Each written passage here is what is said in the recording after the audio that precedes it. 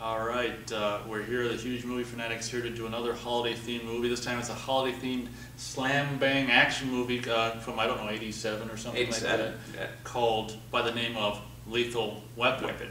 Uh, this was one of uh, the up-and-coming, uh, you know, uh, great producer. What's his name? Joel Silver's Yeah. movie.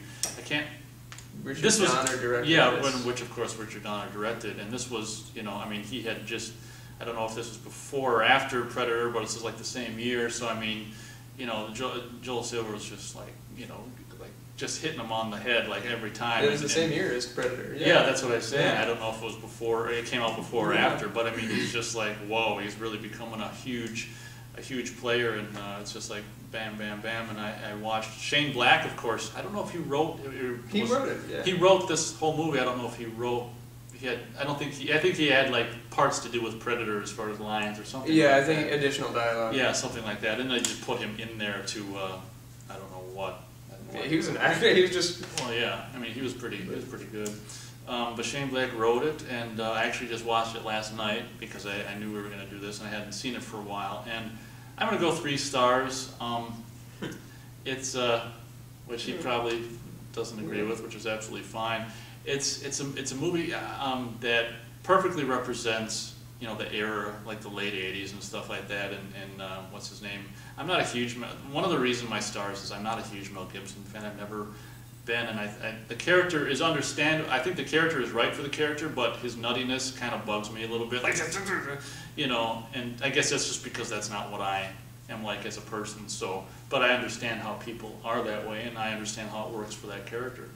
Um, I think the the biggest strength I think of the movie is just the the, the those two characters and the way they interact. I mean, those two characters instantly like the week it came out. I mean, it just instantly became like iconic of some of the biggest c- cop movie pairings of, of all time. You know, and. Uh, so, so yeah. Why don't you? I'm, I'm just drawing blank. Continue. I'm. Uh, I'm going to give this one four stars. If I were to.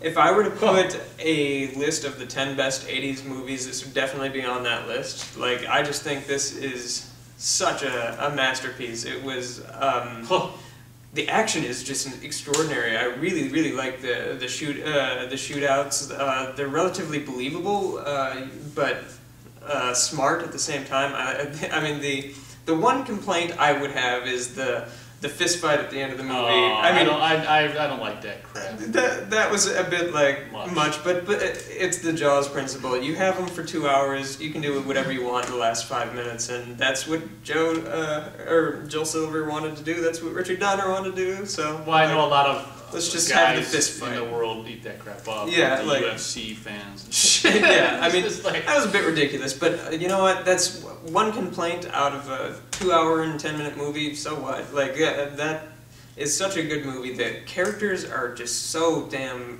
perfect. Like uh, Danny Glover was so great, and Mel Gibson. Like who thought that that pairing would be really strong? And Mel Gibson like eclipsed any performance he had before that. Uh, like he was famous for Mad Max and.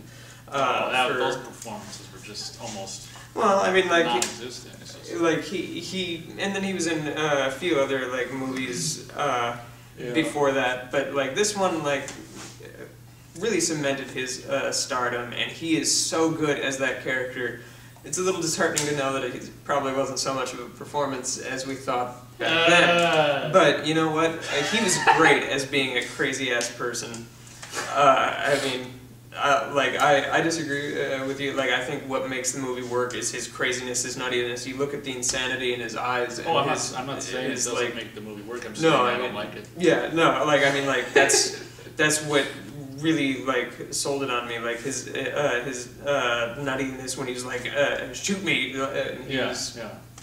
like the insanity that is in those eyes. But he's also like a decent guy in it. Like he he know he he has like a drive to do the right thing at the end of the day, and um, uh, he's the lethal weapon.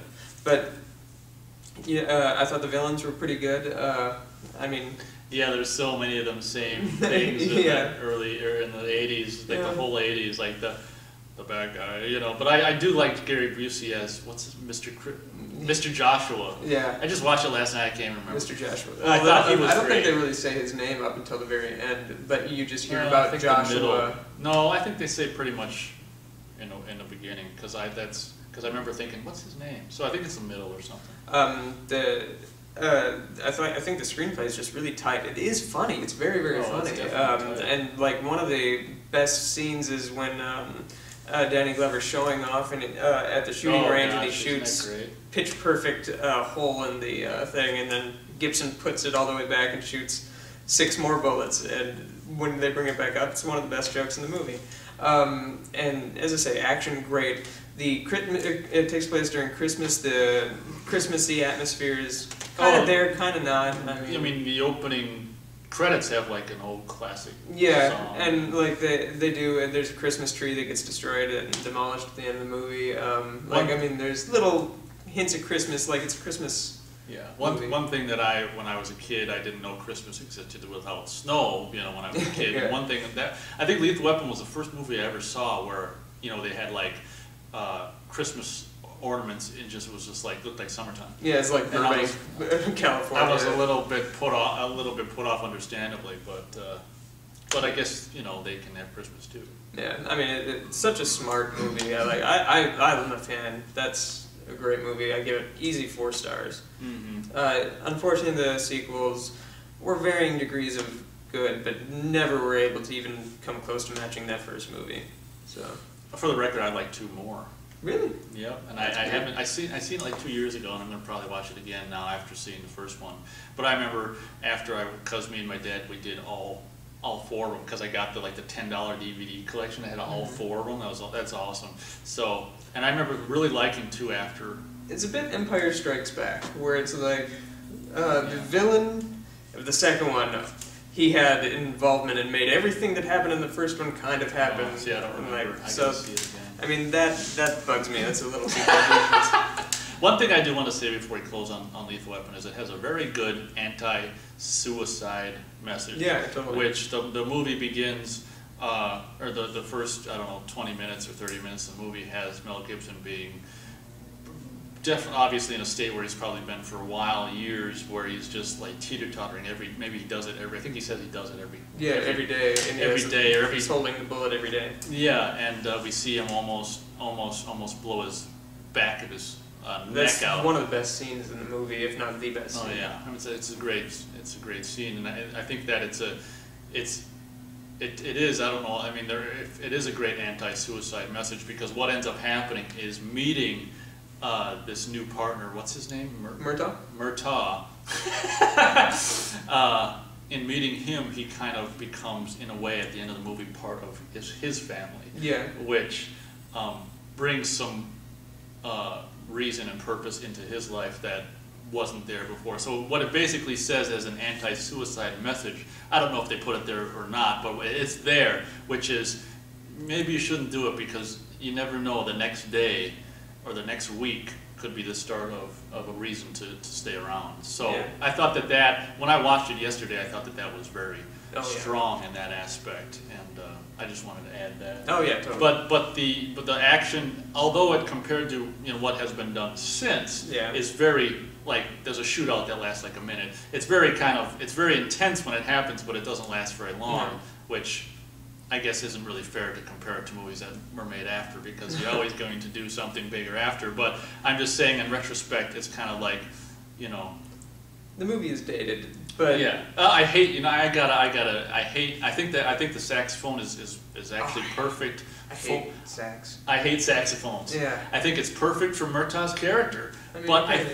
I freaking hate saxophones. I think I don't know when they were invented, but they should uninvent them I- because yeah. it's just like They make I me always- physically angry. I don't Oh, know I get, I get pretty angry too, and uh, they always remind me of like, like New York at night, like Saturday Night Live, you know, you know, and it's just like, shut up, you know. So I, I wanted to comment on that. Last night I was watching, I was like, just like you, when, the, when Yeah. whenever we're talking, came in, it's like, I just like, shut up, shut up. Yeah. So saxophones and, and bagpipes just Oh, I like bagpipe. bagpipes suck and saxophones suck and that's just my opinion that's not the opinion But I, I don't. And so so I was watching it last night. and It's like, "Nah," and that's, they do some of the most like heinous saxophone shit in here. They basically do it knowing that there's people who hate them out there, and it's just like, just to kind of do the yeah. It's uh, like, well, yeah, I- score for I, all think, four? Well, yeah, I think. and it's so. like Well, the guy who was did an Michael choice. Kamen or whatever, who who did the music for this and like Die Hard, Yeah. some of the or maybe all of the Die Hards. Um, and I guess I'm not, I don't know, but I think that Eric Clapton was involved Yeah, I in thi- I think Weapon music he, he scored it. But uh, yeah, I just want to comment on the saxophone. I just, it just kind of bugs me. Yeah. No. So Merry so, Christmas. So Merry Christmas. Yeah, there you go. That's that's what I hate this Christmas. so I guess I guess that's about it. The the you know the what I was getting at before is the the shootouts are very cool and very realistic, and even even compared to now nowadays standards, they are short. But when what when they when they happen, they're still very very forceful. Like Yeah. you know. So you know the, the minute long shootouts are very are still Huh. very cool. How badass was it when like uh, Mel Gibson just takes running in his little sneakers down the street with with the guns, and I was Oh, like, yeah. man, he is pimp. Like that was Well, just yeah, really I mean, this cool. was like so this was like the most badass movie of, of that year. Yeah, oh, well, sure. after compared to obviously Predator, you know, and so but Joel Silver, like I say, was just at the forefront. like, what a It year, was just yeah. like, oh my gosh, you know. Anyway, off track. But then uh, you, just when you thought that was good, next year came what? Yeah. Die Hard. Which we'll review next. Check out Die Hard review at the Huge Movie Fanatics.